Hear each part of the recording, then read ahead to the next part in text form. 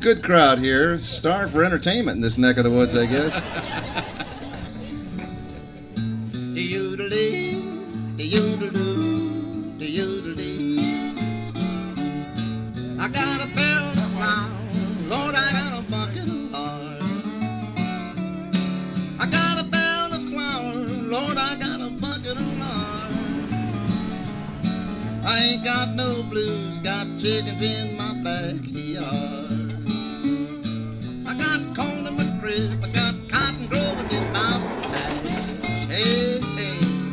Is you do it.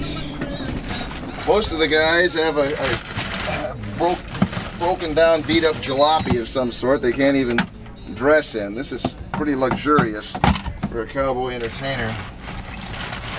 This kind of accommodation is not the typical. Not typical at all. Very luxurious.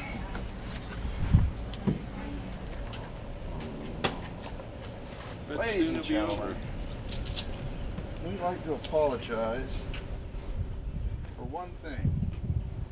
Sourdough Slim showed up. Nothing we can do. Too late. Show's going on anyway. I'll stand over here. See what's in my eyes. If it is,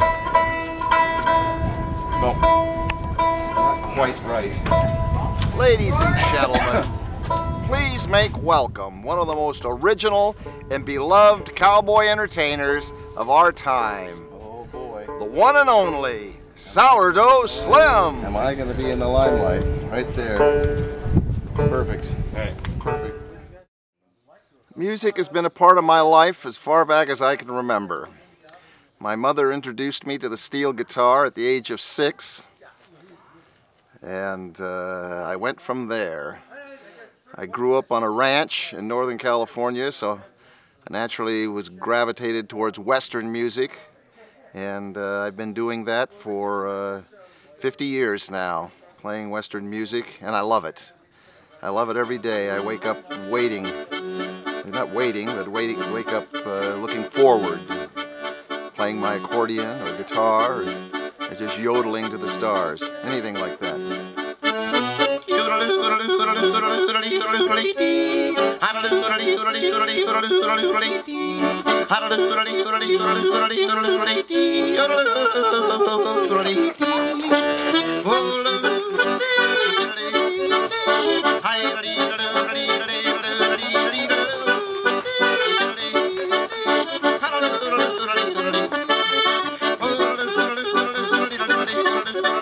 In 1991, I went to the Cowboy Poetry Gathering in Elko, Nevada, and uh, performed my act, of course, for the very uh, appreciative folks there.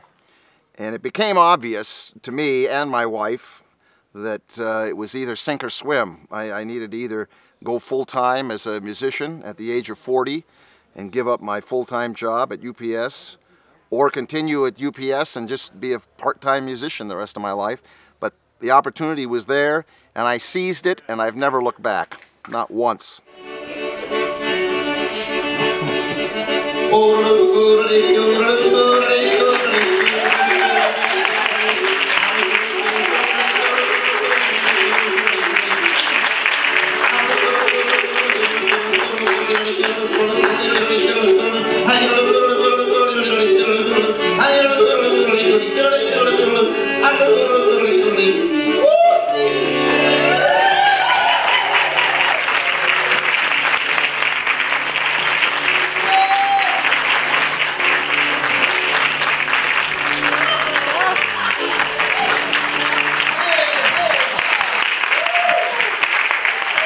I enjoy all kinds of music, but I really prefer the music that was uh, uh, coming out in the 1920s and 30s. And I don't just mean Western music, I mean all kinds of music. Very creative time in our culture. And uh, the music that was going on there was at that time was just phenomenal.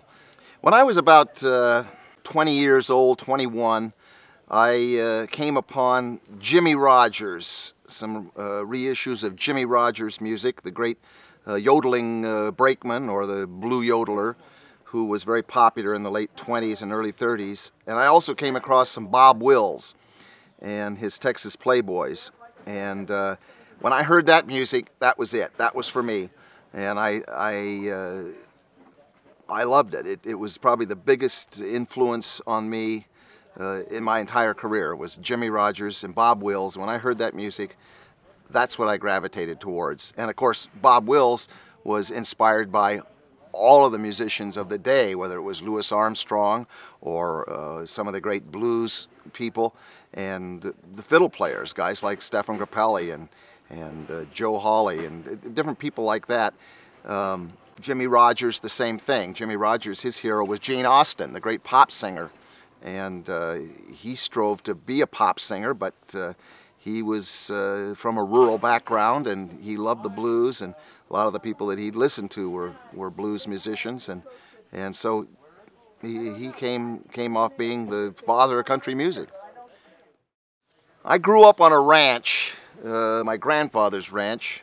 I didn't live there all the time, but I spent a good deal of time there and it was probably the greatest inspiration uh, in my life as far as uh, the direction that I took. And I've always uh, been drawn towards uh, uh, the land and the West and the music and uh, the culture that has come from that. That's been something that I've always been very passionate and very interested in. And that's, that's why I do what I do. when it's twilight on the trail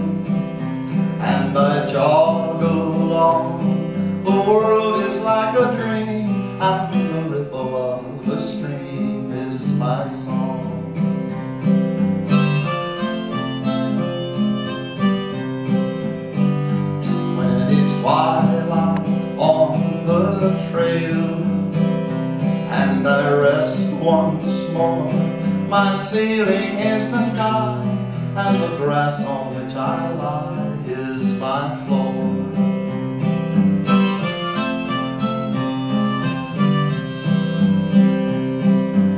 Never ever have a nickel in my jeans. Never ever have a debt to pay. Still I understand what real Yes, I was born that way When it's twilight on the trail And my voice is still Please plant this heart of mine Underneath the lonesome pine on the hill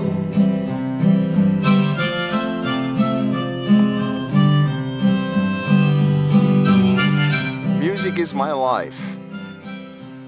Uh, I don't know why I was uh, put on this earth to play music. I just know that I love it, and that's what I do. It brings joy to people, and uh, of course, I'm a natural born ham. So. Excuse me once again. This won't take long this time because I've got it.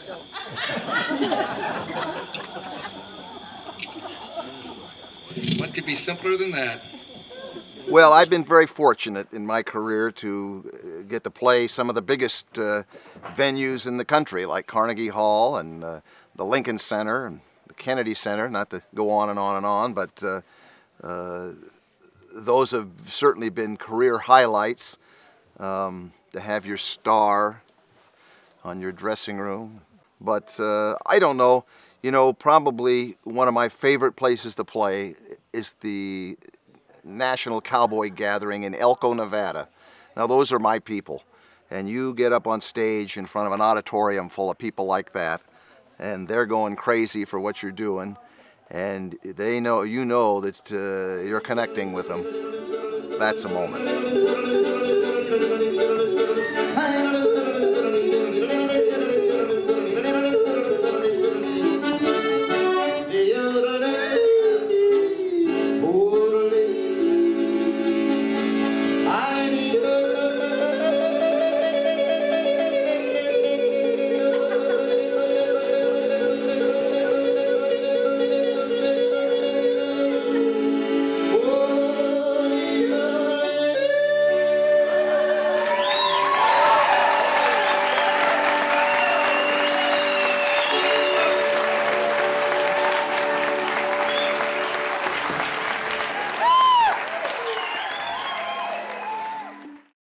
Well, you know, I've, I've written a lot of songs uh, in my day, and uh, I have a few favorites.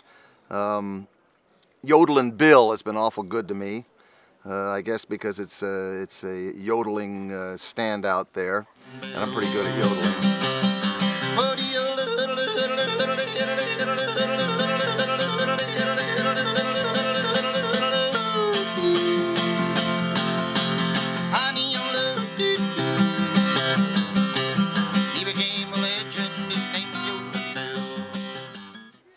Is easy.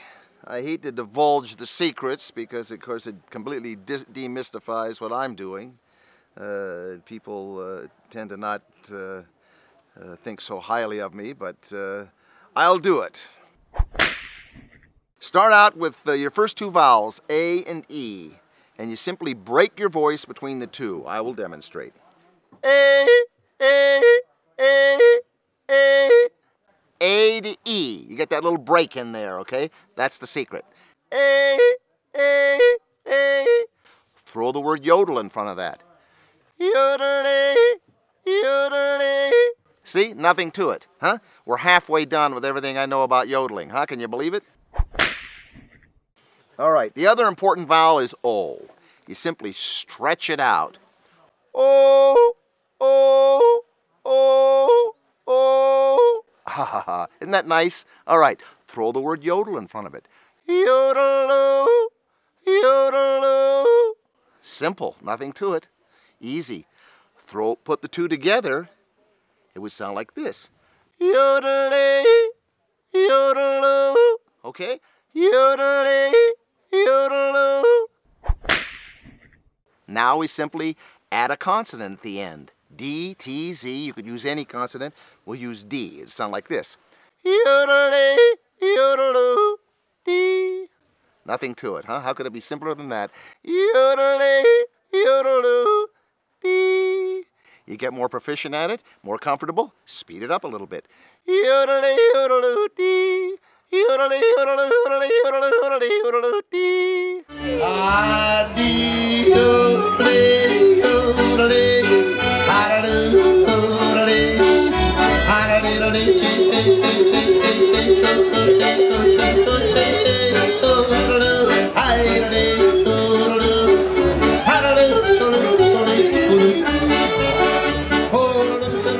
Cowboy entertainer. That's what I am. I love it all. It's a challenge. I tell you, I love the music, of course, obviously, and I love the, the culture and everything that goes along with it. But the thing that I really get a kick out of, you never know what you're getting into with these with these shows. And I travel all over the country, and and sometimes they're repeat performances, but many times you never know what you're getting into. Covered the seals eating instead of grass. Said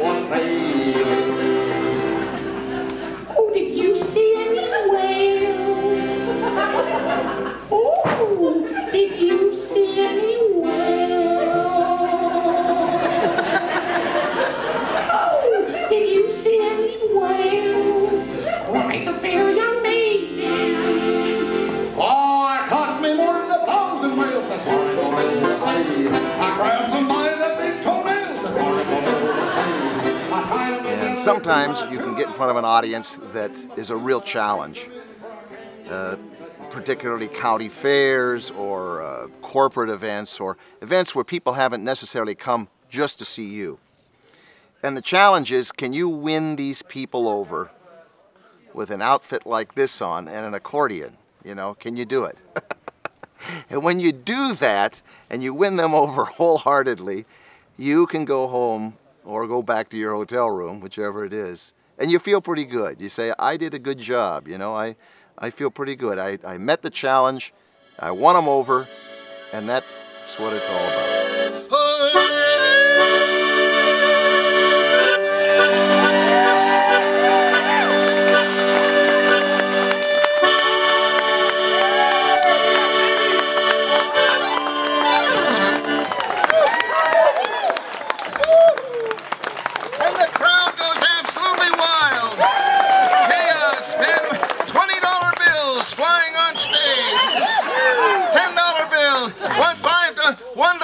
Dollar showering my feet. At this uh, uh, 50 uh, quarter. Uh, you got a nickel? Anything will help. Thank you. I'm just kidding.